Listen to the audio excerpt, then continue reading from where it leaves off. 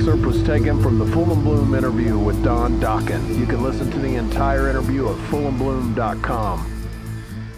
I saw you guys on the Tooth and Nail tour opening for Dio in Dallas, and of course, I was a huge Dokken fan. I've also interviewed Tom Werman a few times. We had talked about his experience working on Tooth and Nail. The poor guy. He got tortured in that recording session. He said that he had clashed with George. From but, day one. And I'm just wondering is it true that you and George never were in the studio at the same time? Never. We couldn't.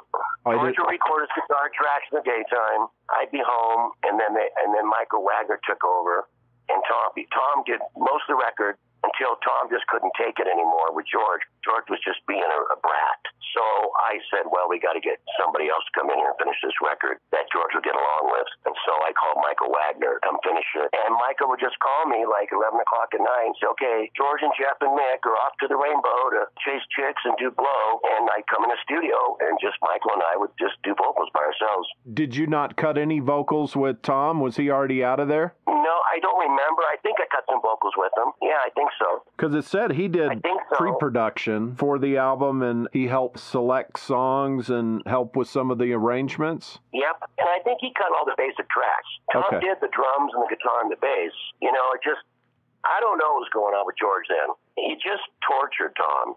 Tom was a really nice guy, and George just harassed him and tortured him. And it'd be like Tom would ask him to do it again or try something else, and he'd just go, no. You know, so we weren't getting a lot of progress. George just was very stubborn, and it just came to a breaking point. And I said, we'll never get this record done because George is not going to cooperate. So that's the way it was.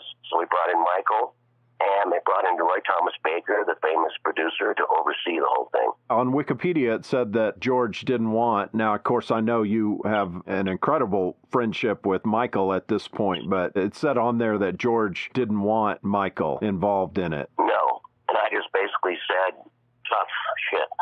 He was worried that because Michael was my friend, he had this thing in his head that Michael would do the mixes and my vocals would be super loud. And I said, no, George, Michael's going to mix the album and the vocals are going to be where they're supposed to be. Why would he turn the vocals up too loud? It doesn't make sense. Michael's going to do what's best for the mix. George felt that Michael and I were so tight that he would turn my vocals up too loud. So then we ended up bringing Roy Thomas Baker in to oversee all the final mixes to make sure that Michael wasn't turning my vocals up too loud. It was all kind of ridiculous, but you know, drugs make you crazy, and there was a lot of drugs going on during the Tooth and Nail sessions. You never did coke, right? Or didn't like it that no, much? no, it wasn't my cup of tea. I never.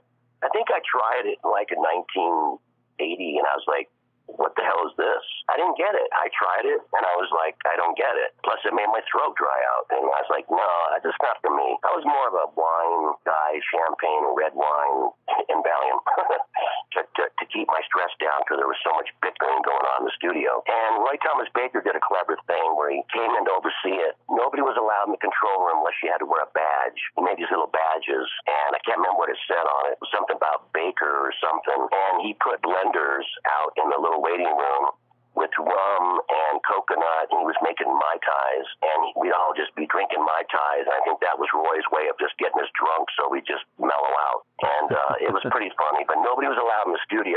George was in there, I was out playing pinball. And then when George left, I would go in and I was singing, you know, Jeff and I would do background vocals. And it's a miracle the album ever got made. On tour, are you guys staying separated for that tour? No, we played for that tour, yeah, pretty much. I slept on a different floor. Don't